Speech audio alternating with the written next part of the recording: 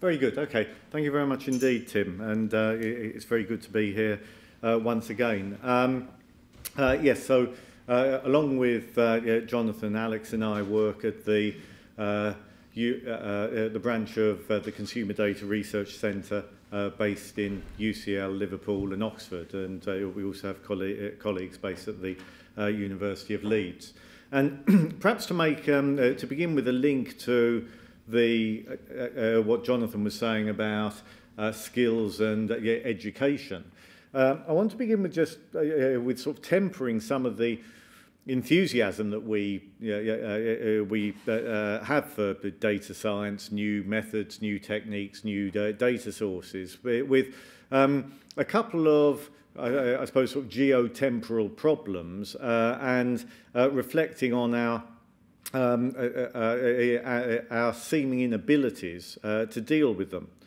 Uh, the first one uh, is here, and it's, it's basically an example which um, Alex has mocked up using the um, Scottish uh, Index of Multiple Deprivation and the uh, ONS uh, um, uh, output area classification for 2011, which was uh, created uh, uh, by us at uh, CDRC. And revisiting an example that um, um, I've pummeled uh, uh, over sort of several editions of uh, the textbook you see in the bottom right-hand corner that's uh, paid quite a healthy chunk of my mortgage uh, over the years.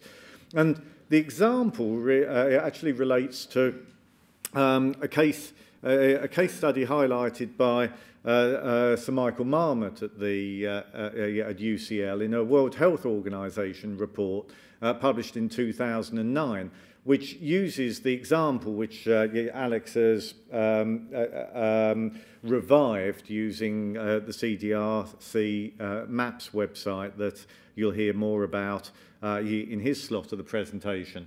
And it's the, it's the seeming sort of paradox of your, your geographical analysis that uh, um, uh, we, we seem to have more data, uh, but we don't seem to come any closer to actually understanding what's going on and understanding long-term outcomes. And the example uh, from uh, the WHO report in 2009 concerns the eight-mile distance that co connects the Calton and uh, uh, inner city location in uh, Glasgow uh, with the suburban community of Lenzie, which you can see here uh, connected by uh, uh, uh, uh, the shortest road distance. A distance of, as, as I say, about eight miles, which uh, spans a life expectancy of uh, 58 uh, in the Calton and 82 in Lenzie. Um, and despite you know, uh, various, uh, uh, uh, lots of different data sources and so forth, we seem to come no nearer to explaining these sorts of problems than saying, well, I wish I knew where I was going to die. Why? Well, I wouldn't go there. You know, sort of uh, uh, our, our seeming inability uh, to understand the dynamics that underpin location and place uh, doesn't seem to it doesn't seem to uh, improve as the data horizon uh, broadens when we look at long-term wicked problems such as life expectancy. But it ain't too good, you know, sort of even over the short term. As uh, this is a quote lifted from um, uh, uh, uh, somebody who works for YouGov uh, uh, in The Economist you know, a couple of months ago. And it reflects that you know, in 1992, opinion pollsters, I think you remember that was the, um, the election where the, it was the Sun what won it. Um, uh, um, opinion pollsters all use the same methods, they all ask the same questions, and they all got it wrong. Um, by 2015, um, they'd become much more sophisticated. They'd use focus groups, they'd use social media, they use different nuanced questions, they use different channels, they use different uh, uh, statistical methods. In fact, the only thing that united them is they all got it wrong again. Um, and so there is a you know, paradox here, uh, uh, as I say, that the um, uh, uh, we're, we're sort of seeing the receding horizon, ever and ever richer data um, uh, uh, representations, but seeming inability to uh, convert them to um, uh, convert them to um, a, a, sustainable insight. To shift now then to a couple of sort of uh, some reflections on uh, the world that Jonathan, uh, Alex and I inhabit in uh, uh academia and uh, to perhaps reflect on some possible uh, reasons for them. It was interesting in you know, David Willetts's um, uh, uh, presentation that he presented you know, a lot of uh, data, for example, from the labour force survey and uh, other uh, central government surveys. Um, this graph, which um, uh, we hoodwinked out of, um, um, uh, I think it's a legacy ONS uh, website now, uh, uh, uh, looking at responses to uh, uh, freedom of information requests. Um, actually sort of documents the uh, uh approximate 10 percentage point fall in response rates to official government surveys uh, over, a, over a 10-year period. And um, you don't really need to go much further than personal anecdote to understand the motivations of this. Probably half the people in this room declined to take part in some kind of survey or uh, a, a, online uh, um, survey instrument uh, during their trip you know, uh, to this conference. I know certainly, I mean, if you look in the world of uh, response rates to review uh, journal articles, uh, um, uh, journal editors now, for example, have to send stuff out to many more people in the hope of getting enough, enough responses. So there's an element of secular response fatigue, which I think we can argue is now sufficiently pronounced that it's impossible to think of the future of social science relying upon conventional social survey instruments alo alone.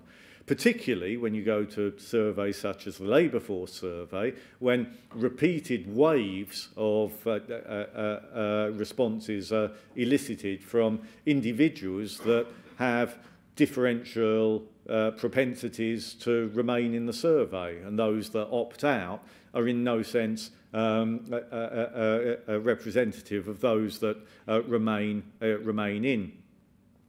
I started with one slide from, uh, uh, from the textbook. This is another slide which uh, perhaps sort of uh, refle uh, reflects on changing social science practices and certainly we see manifest in the sorts of student projects that um, uh, uh, um, enter our master's uh, dissertation uh, competition. And that is um, a generation ago, uh, the linear survey design was about devising, uh, identifying your sample frame, taking your sample, soliciting responses, checking that the response rate was acceptable, resampling as necessary, and then uh, inferring from samples to populations, inferring from samples every element of which had a known or pre uh, and pre-specified chance of selection, as you can see in these uh, uh, uh in these different uh, designs on the slide.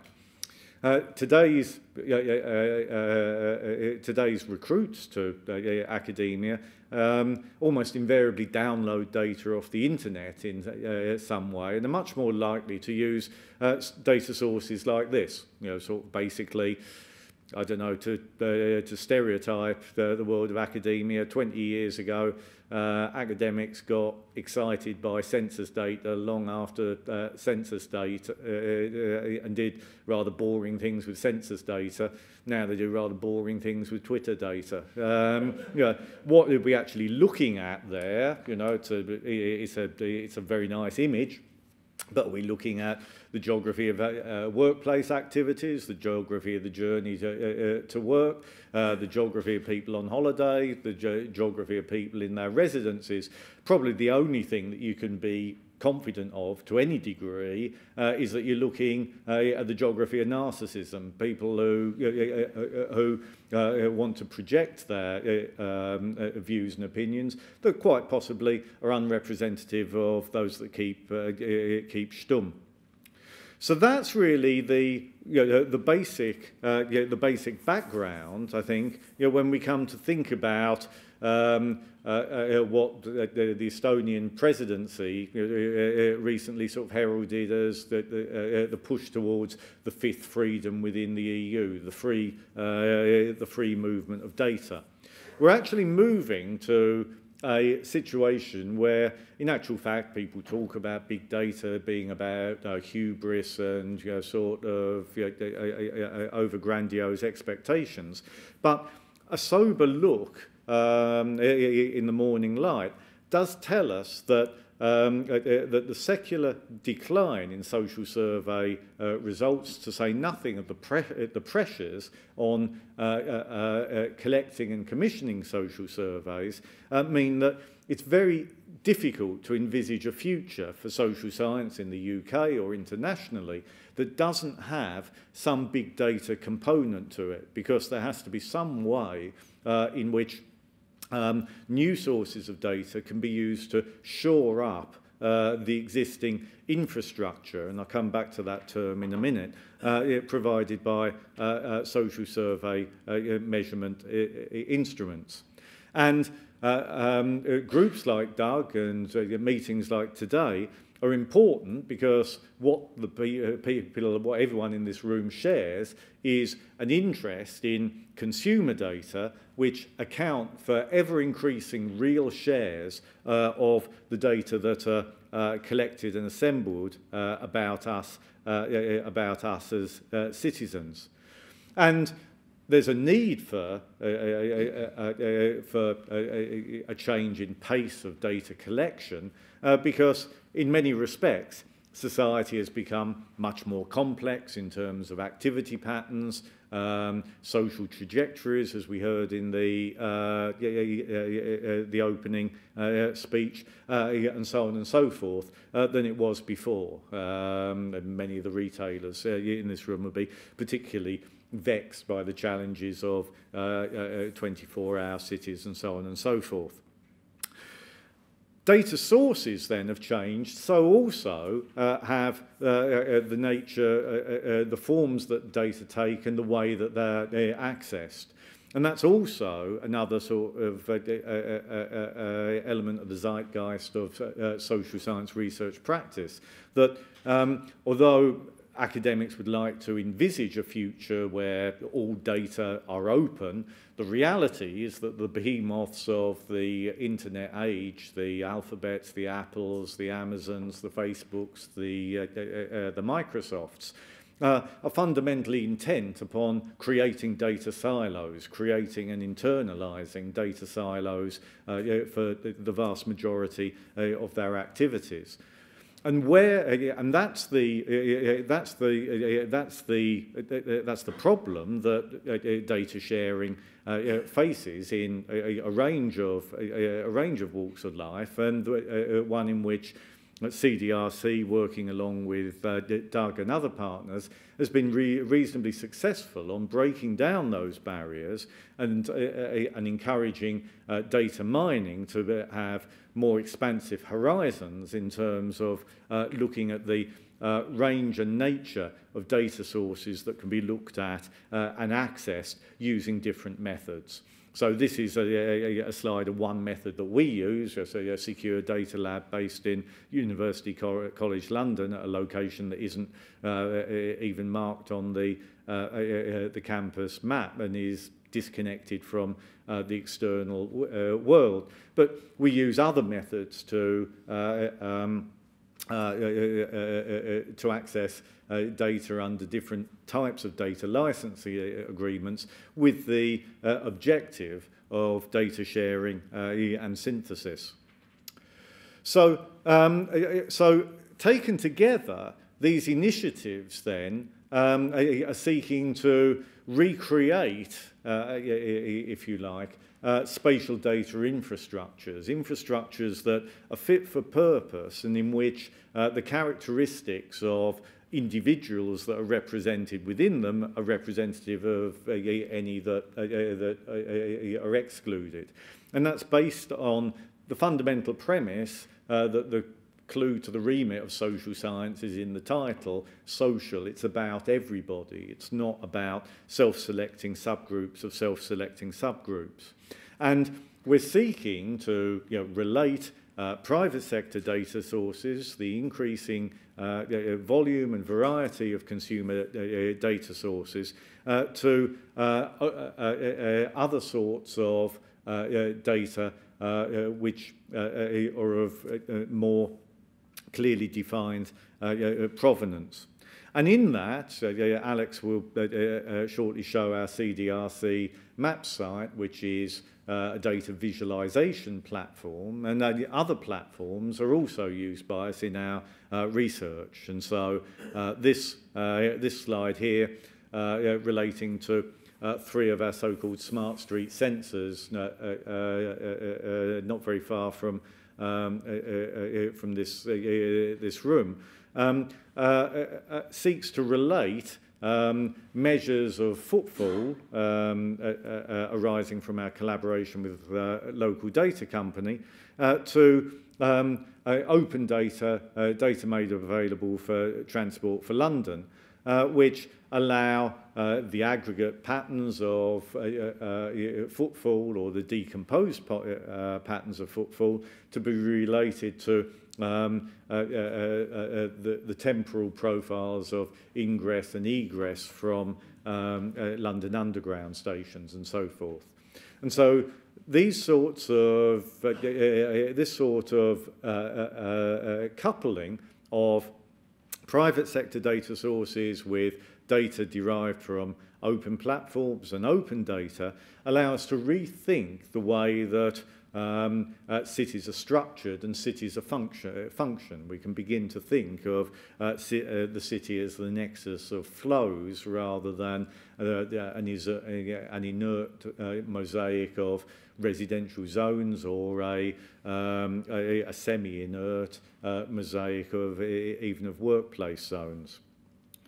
In all of that, in all of that, what the social science community is having to uh, uh, uh, come to terms with uh, is that, of course, many, uh, most of these data sources are not created for their own edification. You know, you know, generations of social scientists have been used to you know, specifying the sample design, drawing the inferences, writing, writing the reports. Um, uh, big data is fundamental to uh, think of as a byproduct, a byproduct of the uh, provision of goods and services, be they social media serv service, uh, services, as in the case of Twitter, uh, or uh, uh, uh, transactions for groceries or anything like that as, uh, uh, uh, as captured by, uh, by retailers. And in moving from those sorts of data sources which are focused upon customer transactions and maybe used predominantly in a sort of tactical sense towards looking for towards the next quarter's uh, profits forecasts and so forth towards looking at the uh, at them as um, something of um, a, a record of what's going on uh, right across uh, uh, society. Uh, we spend a lot of our time looking at uh, looking at the provenance of um, consumer data sources by seeking to link them uh, to more conventional uh, uh, um, uh, social science um, infrastructures. And in this respect, we're fundamentally cognizant that it, it doesn't make sense to think about old divisions between public and private sector, you know, sort of the distinctions between uh, you know, the two uh, fundamentally uh, uh, uh, uh, blurred in, uh, uh, in Britain today. Um, but nonetheless, linkage of some sources to others can identify commonalities of interest which link the academic sector with, with organisations that produce data. And so here is just one example taken from uh, um, uh, uh, consumer data analysed by one of our research students. And you see on the left-hand side a small subset of data mapping a pattern of transactions in relation to um, customers' stated residences, uh, most, uh, most of which, or many of which, uh, are incorrect because they've not been updated. And so the right hand of the two diagrams shows how you know, a, a, a fairly rudimentary uh, geographic modelling allows uh, allows a pattern to be identified, which is of use to the retailer in identifying the genuine locus of activities of uh, their, their customers, but it's of much wider implication uh, when we come to look at uh, activity patterns uh, in general. And so one of the things that Alex would describe uh, that we're very interested in uh, at CDRC um, is looking at uh, residential mobility patterns um, and uh, uh, the associated uh, notions of um, social change that were also part of David Willetts' talk earlier. So before I hand over to Alex, I mean, Alex will uh, sort of set out, uh, uh, uh describe recent developments on our uh, um, uh, maps.cdrc.ac.uk platform. and the objective, really, of, you know, of this talk is to engage in a form of, sort of consultation. I mean, basically, uh, what we're doing as we um, uh, pass the halfway stage of uh, CDRC's first uh, period of funding is we're trying to focus on the subset of all of the big data that are available uh, that address issues of uh, widespread concern across government, business and the academic sectors. And in so doing, we're seeking to identify uh, uh, where, uh, but also when. And so this time-space cube that you can see with the outline of Greater London uh, uh, on, the, uh, uh, on the base of it deliberately doesn't have uh, the clock face calibrated because uh, it, it turns out that in important respects, the different consumer data sources that we uh, uh can look at are not only relevant to short-term uh, tactical um, issues of uh, business concern, not only interested to looking at uh, of uh, relevance to short-term activity pattern analysis, but also uh, can say something about the uh, uh much deeper ingrained uh, issues of uh, social mobility and social change that uh, David Willetts was talking about in the context of the uh, Resolution Foundation. But in terms of the sorts of uh, uh, measures that we're, developing, uh, so here is uh, uh, uh, one of our nationwide data sets provided by um, one of the one of the UK's domestic energy providers, and what uh, uh, Anastasia uh, uh, Ushakova, another of our PhD students, has uh, looked at is uh, the temporal profiling uh, of different types of uh, household activity patterns. And of course, we can see how all of this is interesting, you know, sort of in terms of you know, energy consumption, and one could think forward in terms of battery technology, electric cars, etc., etc., and how this might uh, uh, uh, uh, this might slot into better understanding carbon footprints, um, issues of fuel poverty, issues of energy use. But of course, also more widely, if somebody is at home with the central heating on, they're less likely to be out, uh, out and about. And so this uh, data source uh, is of value uh, viewed alongside the previous one that I showed you of customer loyalty card data in getting some idea of the sorts of horizons that different uh, neighbourhoods have in the short term in terms of their interactions uh, for um, uh, not just for uh, workplace but also for leisure pursuits and uh, other activities. This is some uh, preliminary work looking at the uh, scale of the individual life course that uh, uh, Guy Lansley has been working on, who uh, uh, introduced the master's dissertation scheme before, uh, before the break. And here uh, we have, uh, we've concatenated um, uh, uh, public versions of electoral registers from 1998 through to the uh, present day um, supplemented by uh, supplemented by consumer registers devised, uh, uh, uh, derived from a range of different sources.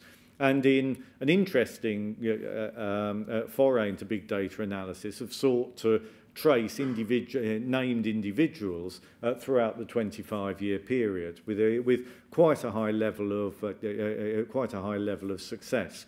And Alex will show uh, some of the uh, results from that in terms of the way that those data can be used to supplement you know, 10 yearly census es estimates of um, uh, mobility, uh, but also uh, look at it in terms of uh, social change and the characteristics of origins and uh, destinations.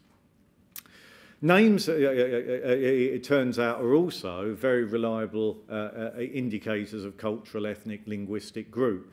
Uh, and this slide um, uh, compares uh, census estimates of the uh, census figures on the distribution of the Bangladeshi population in 2011 uh, with uh, est uh, our estimates of the distribution of the Bangladeshi population in 2011 derived from our consumer registers.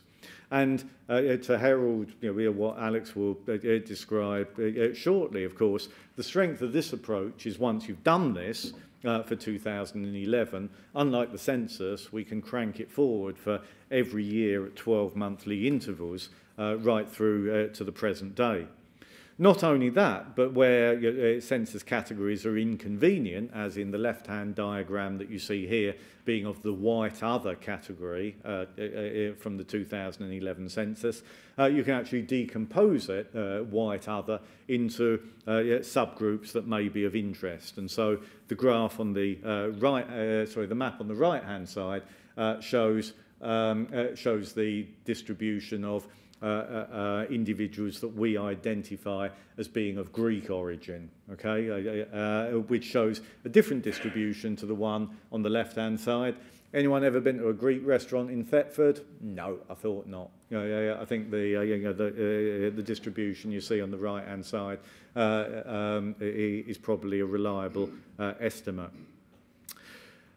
In uh, an intergenerational sense, Uh, it also turns out that these sorts of consumer registers uh, can be linked not just to obvious, uh, uh, uh, other obvious consumer data sets, uh, but uh, data sets uh, relating to the dim and distant past. And this, uh, this slide takes some of our uh, thinking about um, a, a intergenerational change uh, and uh, the, the, the dynamism of the British economy uh, a step forward uh, by uh, uh, comparing the distribution of um, uh, uh, names as recorded at the individual level in the 1881 census of population with distributions of those same names um, several generations uh, uh, uh, or two, uh, uh, a couple of generations uh, uh, crank further forward.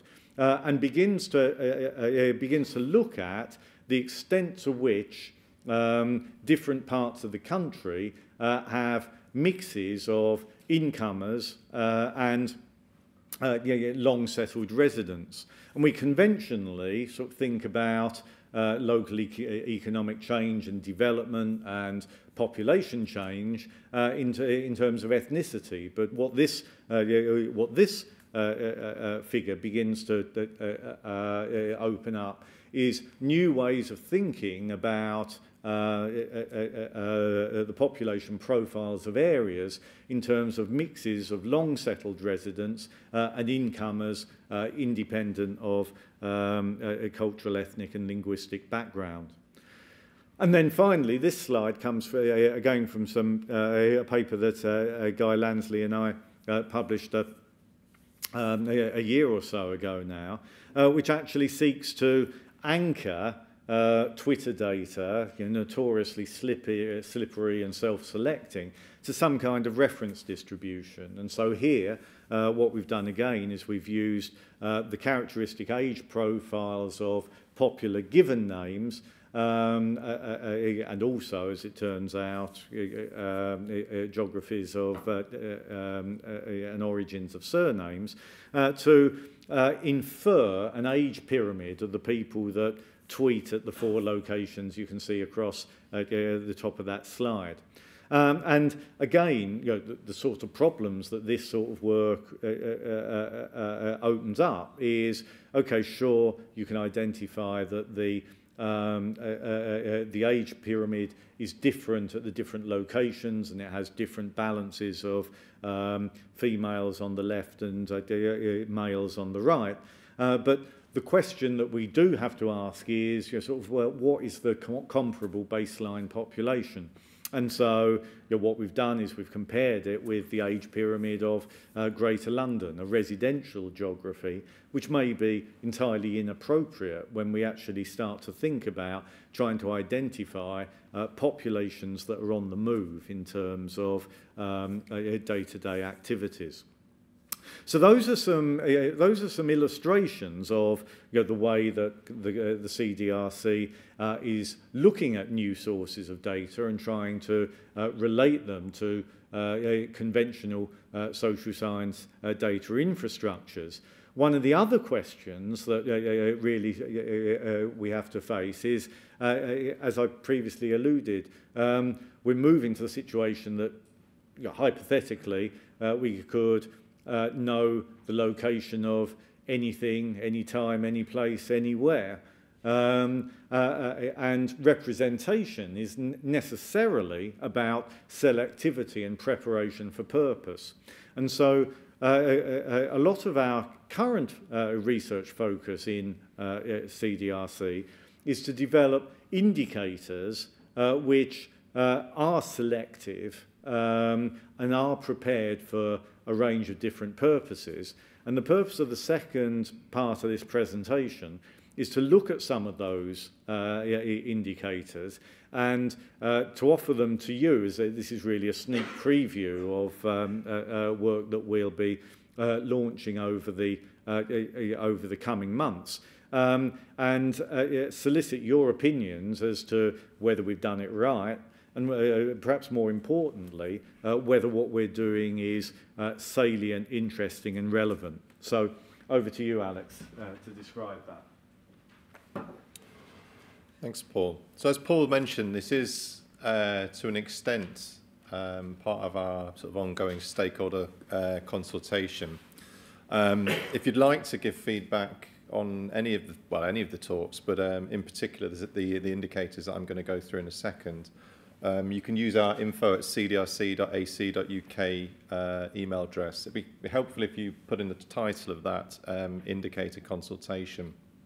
We've actually got um, a not really widely promoted um, uh, indicators page specifically on the CDR site, uh, on the CDRC site, and the URLs for um, is there as well. And again, that gives you some hot links directly to some of the things I'm going to talk about today. Um, there's no particular order to these, but there's a series of indicators I'm going to go through. Um, the first uh, of these uh, relates to some work we've been doing with the local data company, and it's kind of um, uh, a legacy project that kind of emerged out of work um, done in the sort of late 1990s, early 2000s at University College London in the Centre of Advanced Spatial Analysis, of which there's a couple of people here today, um, specifically looking um, at how you can define town centres. Um, and this work was done with um, the ODPM at the time, uh, later DCLG. Uh, and ostensibly, there is a set of town centre boundaries in existence which relate to a circa sort of 2004. So obviously it's quite a long time ago. Um, and you can see those on the maps. This is actually Allerton Road. This is where I live uh, in South Liverpool um, by these sort of rare, uh, the red um, square polygons. Um, the orange dots you can see on the slide are where the actual retailers are Uh, and the blue polygons which are created around this slide uh, are new definitions for retail centres. Um, it's a greatly expanded set from what the 2004 DCLG boundaries are, um, and it used a completely different method. The other thing that we were particularly interested in and why we've done this project, and again, this is based on sort of ongoing discussions which have come through these various DAUG meetings we've been attending for um, a great number of years, uh, is creating boundaries that are specifically for retail rather than town centres themselves. So we were interested in the core area of these places where retail happens, not necessarily a broader definition of a town centre which might capture things like office use. Um, Paul mentioned the, um, uh, the CDRC Maps platform, developed uh, primarily by uh, Ollie O'Brien, who's in the room. Um, all of the data I'm going to talk about, we host through there as a kind of visual window Um, there are hot links from uh, what you can see on the maps uh, over to our secondary platform, data.cdrc, uh, which is um, an open data platform where uh, for the data sets we can disseminate uh, publicly, you can register and you can download the data. The Maps platform, I think, has had um, sort of about 140,000 users um, since we launched it, uh, which is a very significant number. And if you actually look at the download rates um, for some of the data sets that we hold on our, our CCAM platform, for single data sets, we may have as many as 40,000 downloads since we've launched that. So it's quite a good way in which we're uh, disseminating some of our data. So anyway, back to the, back to the catchments. This is um, central Swindon, and it's just to illustrate how, how it works. Essentially, you can display where the retail centres are that we've defined, and you can click on these, and you end up seeing the different retail centre extents. The other thing that's quite nice about the Maps platform is you can start to layer um, some of these different data sets. So this is uh, Havant, uh, which David Willetts mentioned this morning, and we can see there's a, the retail centre in the core of Havant there. Um, and we can overlay on top of that uh, other sort of CDRC data products. So this is the, um, the uh, ONS um, output area classification, which we developed uh, at UCL with Chris Gale a number of years ago. And you can see here the sort of residential context around that particular retail setting. We can swap it out for other data sets uh, that we pull in. So we don't just display um, our own products that we've built on the CDRC Maps platform. We also bring in other data sets uh, which may be hidden away on other government websites, but we think uh, uh, need, need a bit more promotion uh, and potentially quite interesting to people. So this was one uh, set of maps which we created which were uh, quite popular around the dwelling age of particular types of property. And again, you can see it there overlaid with the retail centre definitions.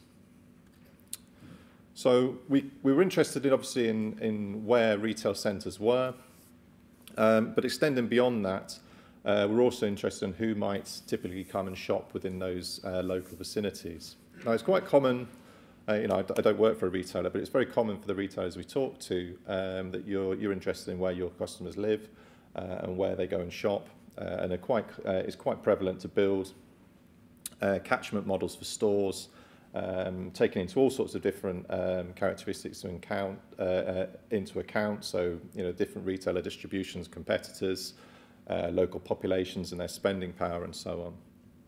What had been done less prevalently when we started looking at this is how you can define um, uh, catchment areas for retail centres themselves, which are obviously a composition of multiple retailers and uses, um, uh, and then various other aspects of the retail centres themselves um, that also influence um, whether people will go there Maybe they're attracted to it because it's got leisure um, destinations within, within its locality, or maybe they're not attracted to it as much. Perhaps there's quite a lot of vacancy rates or uh, more sort of down market retail, which um, sort of uh, puts people off going there.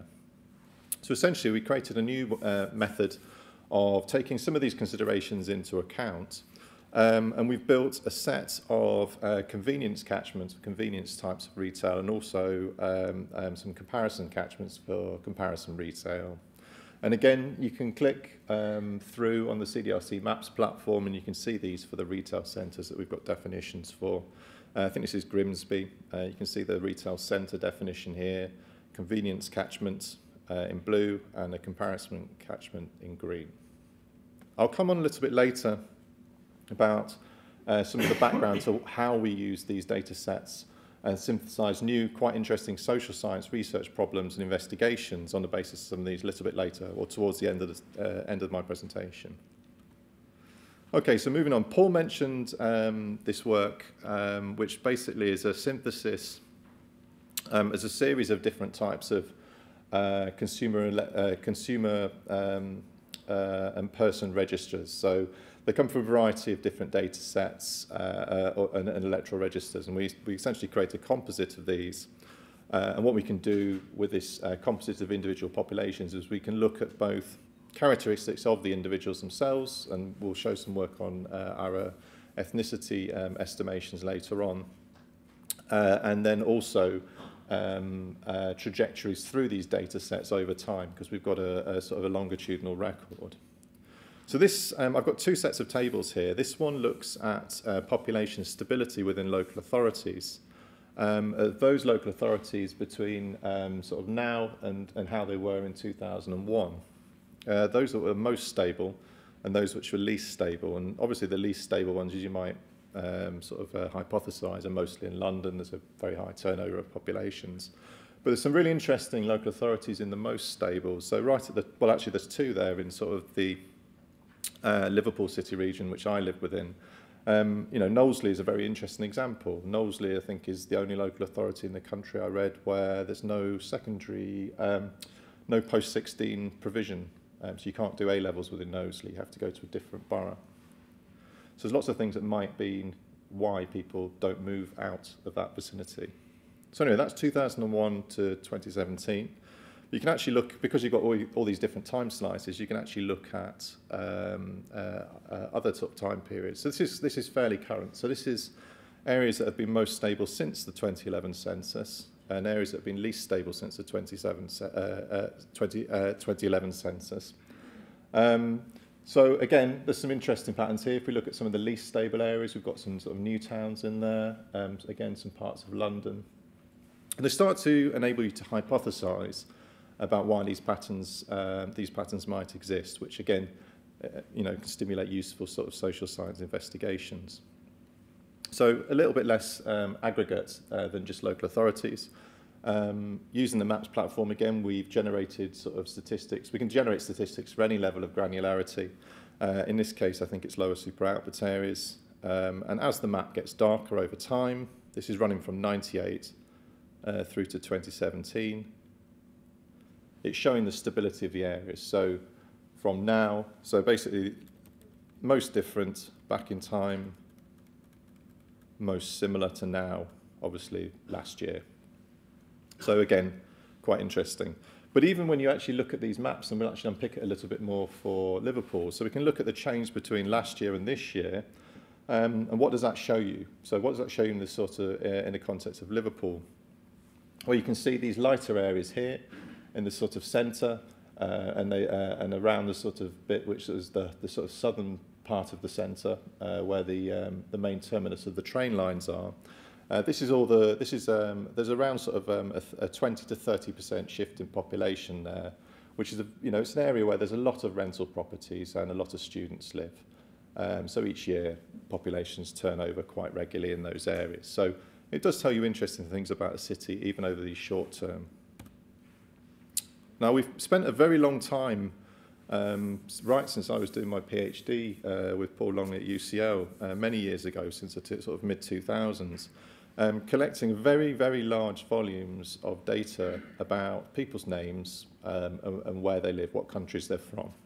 So we, over the years, we've essentially sem uh, assembled a very large database um, of, what, of, of world names, uh, and we've developed various methods where we can categorize these names into either um, uh, uh, uh, an estimated sort of ethnicity or um, an estimated origin of where they come from. We've, we've done lots of projects on this. And we've probably presented on this um, before at DAUG. Um, linking these to some of the um, sort of longitudinal work that we've been doing, we can start to show some very interesting things. So This is, um, this is just a, a, a map of uh, Manchester and the location of um, black uh, people who we've got estimate we have will have um, a, black African uh, ethnicity on the basis of their name. Then we can change that to Pakistani, and you can see that they are existing in different parts of the city. There's some overlap, um, but there's a generally a slight different uh, uh, slight difference in the geography of those people those two types of names. If we link them to the temporal records, we can also show very interesting patterns. So this is, um, again, Liverpool and Manchester. Uh, and we can run the data over time from 98. And what you see is a slow suburbanization of people we estimate to have a Pakistani origin over that time, which is quite an interesting, uh, quite an interesting finding. What's also, I think, quite interesting is it happens to a lesser degree in Liverpool than it does in Manchester. I think that's quite interesting in itself. Um, there's different propensities for people of those populations in the two cities, but nonetheless, they start to make you think about uh, social science research questions that you might want to ask. Okay, so next indicator. Um, we've got a, you know, a wider user base than just um, retailers and people who are perhaps interested in management science. Uh, and it's a whole sort of um, breadth of social sciences. There's quite a significant group of people who approach us with uh, research questions about um, health and well-being. Um, and on the basis of um, um, some of that feedback, we decided it'd be worth spending some efforts using some of the retailer data to develop some indicators that might be of utility within those different disciplines. And it's not just um, uh, sort of health professionals, it's a whole raft of social science disciplines who are actually interested in health-related problems. So we've developed this indicator called the uh, Access to Healthy Assets and Hazards Index, which is a bit of a mouthful, but to remember it, it's AHA, which is a very deliberate Alan Partridge reference. So um, the AHA index um, takes, it takes a very similar approach to how the index of multiple deprivation was developed. I can see Tom in the room at the back there, so he might see that I've been copying some of his work. Um, it takes uh, inputs from a series of different domains. We look at the physical environment, uh, which is things like access to green space or, or pollutants. Uh, we take stuff about the uh, health environment, the health context of places. So it might be uh, how close you are to GP surgeries or hospitals or, or dentists. Um, and then we also look at the retail environment. So things that might be health negating about the retail environment. Um, a high prevalence of gambling, uh, uh, gambling outlets or lots of takeaways. And there's lots of literature essentially will stitch these things together. Everything we put into the classification, there's a decent body of literature to say it's either health promoting or health negating. And the idea is you're creating um, a, a composite of all these different data types and synthesizing them together into a, an overall index. Some of the data sets that we, we've used are just highlighted by those logos um, on the side of the slide. So London is a terrible place to live. I make that an official statement. But um, on our AHA index, um, um, all of the London boroughs um, are very poor places to live. They've got uh, contexts which are very bad for your health. So encourage you all to move to Liverpool, which is uh, a city in need of a good population growth. Um, anyway, very cheap housing, very green. Um, but we've actually we've ranked here uh, we've ranked here uh, all the locations and we can see them on the Choropleth map as well uh, outside of London um, which have got um, uh, lower super output areas coded in the sort of worst decile um, uh, of the AHA index and it's quite interesting you've got this east of England effect um, there's some problems in these localities with access to healthcare in particular uh, and there's also actually um, not great air quality related to some of the um, uh, agricultural activities that happen within those localities as well. So again, aggregate picture, if you actually look uh, on the CDRC Maps platform, you can map both the overall index again. I'm picking on Portsmouth and Havant again here, which actually appears in, on the list as not particularly great place to live for sort of uh, health. Uh, but you can also, as well as looking at the overall index, which is of interest, you can actually unpick it uh, and all the inputs to the classification uh, are in there as well. So this is actually really helpful. So some of our engagement with local authorities, um, you know, we've picked out that we've missed, I forget which locality it was, it might have been Cambridgeshire, there was one hospital missing out of our data set. So they were a bit upset because actually their health context was a lot better than we said. So we can add that back in um, uh, in the next iteration. So we can actually improve the classification by having it out in the public domain. So this, this is uh, access to fast food outlets. Uh, we've got uh, access to gambling outlets. Uh, access to leisure services, so you know it's great if you've got lots of gyms. Um, Portsmouth has got quite a few. South Hayling's got very few. Um, so light is uh, more. Dark green would be not that many. Uh, then we've got the obviously health data as well. So this is uh, access to GPs. And you can see the, the, the geography of GPs within this, uh, in, in this area as well um, is, is very variable. So it's all these things together that create this sort of overall index. And we're working with various partners about how we can uh, push this index into sort of public health applications. So we've had some early meetings uh, with sort of Public Health England about how we might append it to some of their surveys and tools that the local authorities are using there uh, in their sort of health, um, uh, health service planning. Uh, next classification, internet user classification. This has been um, an ongoing project since we started the CDRC. Uh, we've had one iteration of this classification, which is the one you can see on the map, um, uh, which is actually in a, in a book that we're going to release about some of the CDRC projects um, sort of in the new year. Um, but it's also one of the classifications that we're actually in the process of updating at the minute. It wasn't quite ready uh, to the point where we want to disseminate it today, but probably between, between now and Christmas it will be ready and we'll be re releasing a new version. So as it stands, this is a couple of years old, but it's a geodemographic classification we built um, specifically looking at um, uh, internet user behavior. And it's something that spins out of work that Paul and I did um, a very long time ago, looking at this idea of digital deprivation. So rather than saying that people either use the internet or don't, there's this much more, um, uh, it's a much more varied approach, uh, which says there's all sorts of different types of internet behavior, uh, which is constrained both by uh, how people engage with the technology and also whether the technology and the infrastructure is available to them. So these are the two sides of things that we essentially uh, put together in this geodemographic. Um, some of the data that we use, Oxford Internet Survey, Uh, we use some data about infrastructure for SamKnows, so where telephone exchanges are. We had uh, broadband speed uh, data. Uh, we used data from Ofcom about sort of 3G signal provision. and then other sort of demographic data uh, from the Office of National Statistics as well. We synthesized that all together and we created geodemographic. And again, it's one of those classifications you can see um, uh, you can see on the CDRC Maps platform.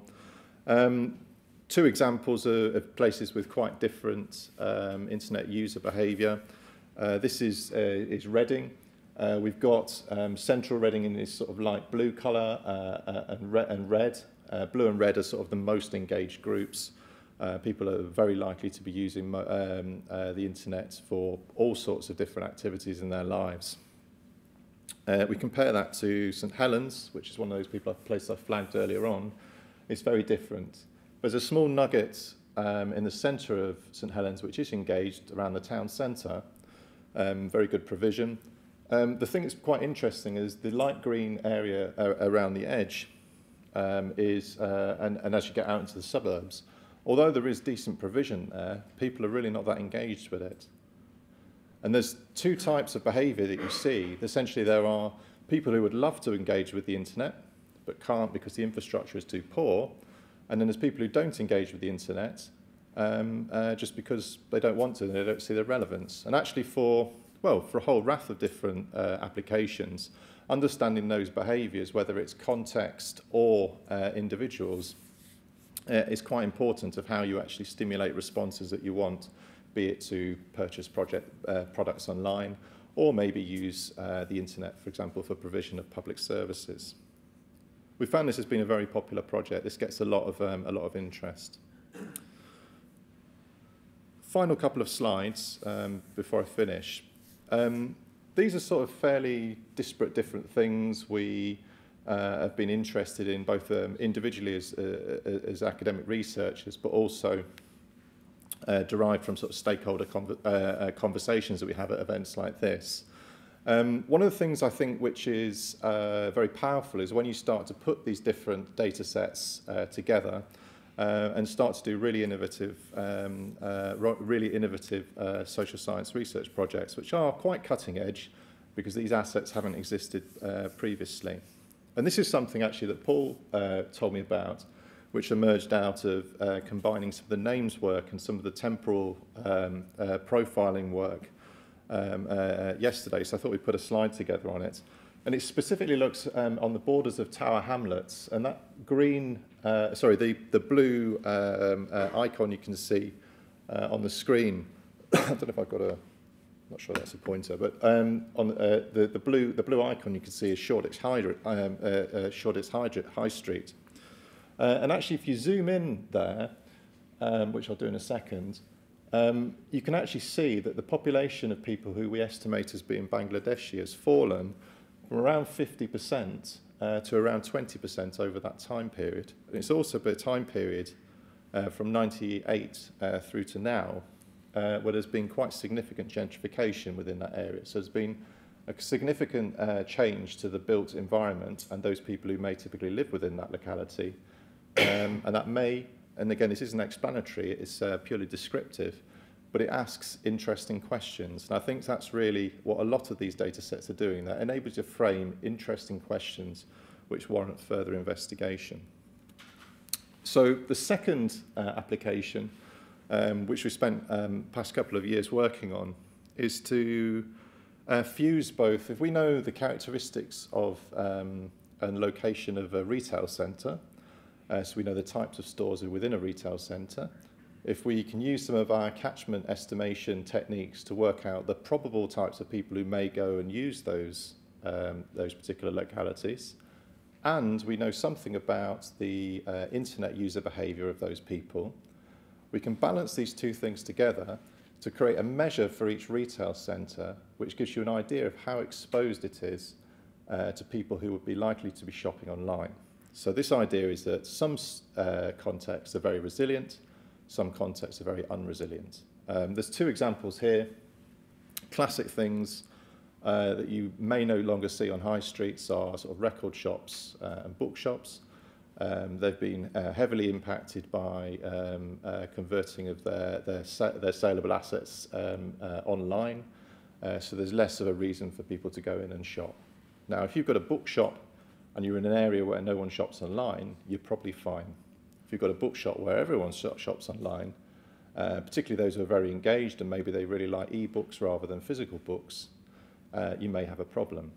Um, so it's a balance between the context of the retail and the types of behaviours that surround that retail. And we actually create an index for this, which on this map it looks sort of like a space constellation. Um, and the uh, larger white dots are the ones which are um, uh, uh, uh, less resilient.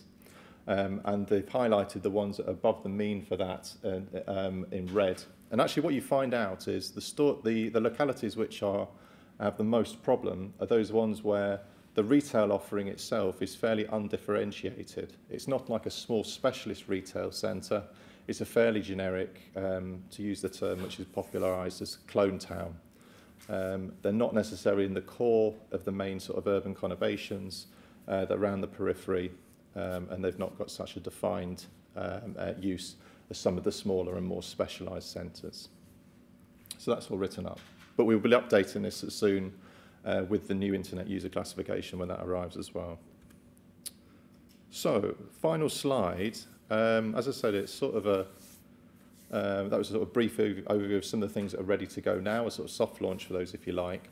Um, but there's also a lot of activities going on at the moment um, uh, or are planned, uh, which will deliver a number of other indicators. Um, so the first of these, which actually has been built at the minute, uh, is a retail centre typology. So Um, as I said, we know a little bit about um, who goes to retail centres and what the composition of the retail centres are.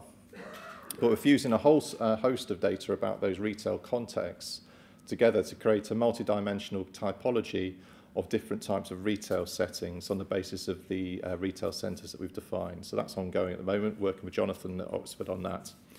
Um, we've got uh, a little bit more work to do on some fairly um, uh, sophisticated data mining of our global names database. So we're hoping probably in the new year to have a new uh, global names classification, which should have uh, much uh, broader um, uh, um, uh, uh, granularity than just uh, eth ethnic groups. It will actually look specifically at countries of origin. So again, we're hoping that will lead to some um, quite interesting insights about sort of um, the geography of uh, uh, uh, of cultural, ethnic and linguistic origins across the UK and over time.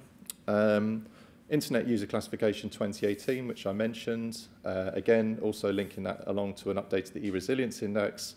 We've been doing some work which is not launched, I don't think, until later in the month uh, with the Greater London Authority, looking at creating an extension of an ONS product, which I don't actually think is launched yet either, uh, which is a classification of workplace zones. So that's essentially is like the output area classification, but using the workplace zone geography. Um, if you want to talk a bit more about that, Dave Martin's in the room, or I know he's had some uh, involvement in that particular project.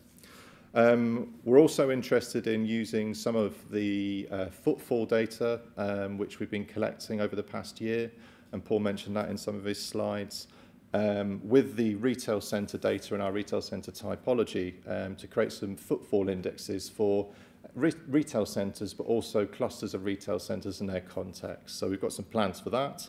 Uh, and then obviously any product that we've got at the moment, so our AHA index, for example, we're also going to plan some sort of updates for those. AHA, it's likely we'll do an update next summer, sort of its 12-month anniversary, for example. So that's all we've got. The, I was told to remind everyone, vote for your posters. Um, everyone apparently gets one vote each, so no cheating or rigging it by voting for your own institution if you happen to have a lot of people here. Um, and um, other point would be, again, as I said at the start, and as Paul, uh, Paul said as well, it'd be great to have some feedback on these. Um, there are people outside um, in the breaks doing demonstrations uh, on iPads, so you can, if you want to go and have a look at the maps now, you can do. Um, I'm told they also work on mobile phones and tablets if you happen to have those in your bag um, uh, sort of during the talks. or not during the talks, in the breaks, should I say. All right, thank you very much. Cheers.